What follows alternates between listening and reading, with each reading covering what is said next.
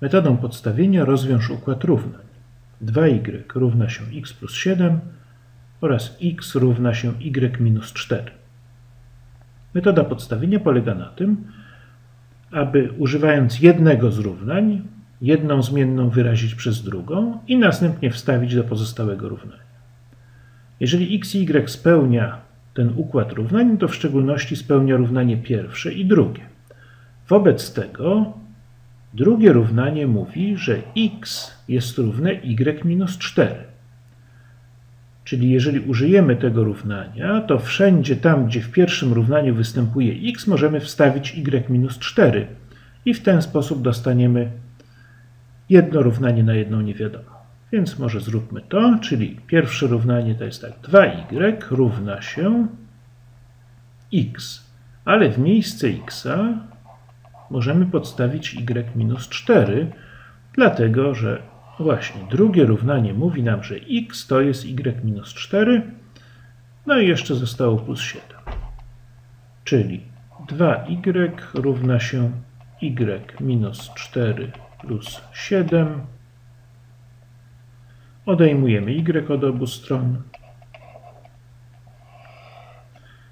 Po lewej stronie zostaje nam y, po prawej nie ma y wcale, prawda? I zostaje nam minus 4 plus 7, czyli 3. Zatem y jest równe 3.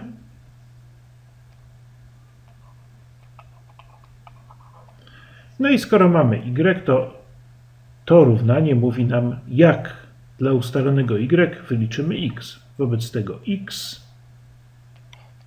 równa się y, czyli 3 minus 4, czyli minus 1. Wobec tego x jest równe minus 1. I to jest rozwiązanie naszego układu równań. No możemy jeszcze sprawdzić, czy pierwsze równanie jest wtedy spełnione. Czyli sprawdzamy 2 razy 3 równa się minus 1 plus 7. Tak? Czyli lewa strona to jest 6, równa się minus 1 plus 7, czyli 6, czyli pierwsze równanie jest spełnione.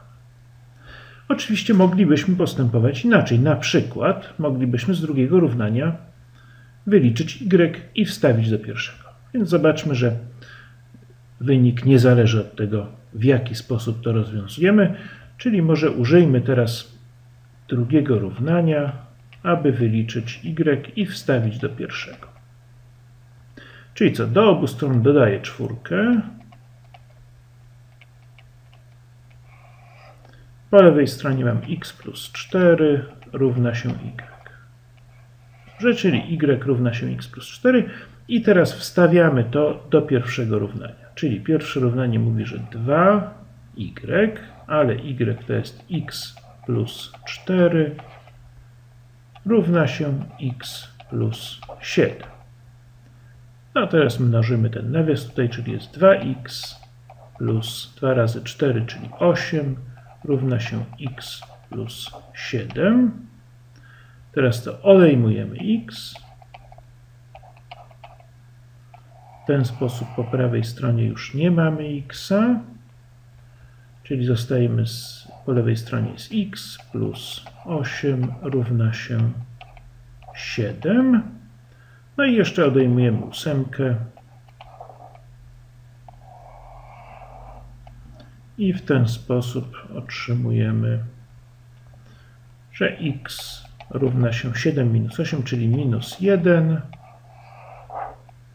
No i y równa się x plus 4, czyli minus 1 plus 4, zatem 3. I jest to taki sam wynik, jak uzyskaliśmy poprzednio. Czyli o ile postępujemy poprawnie, wynik nie zależy od tego, w jaki sposób ten układ równań rozwiązujemy. Moglibyśmy również wyliczyć x z pierwszego równania i wstawić do drugiego lub też wyliczyć y z pierwszego równania i wstawić do drugiego. Wszystkie te sposoby doprowadziłyby nas do rozwiązania tego układu równań.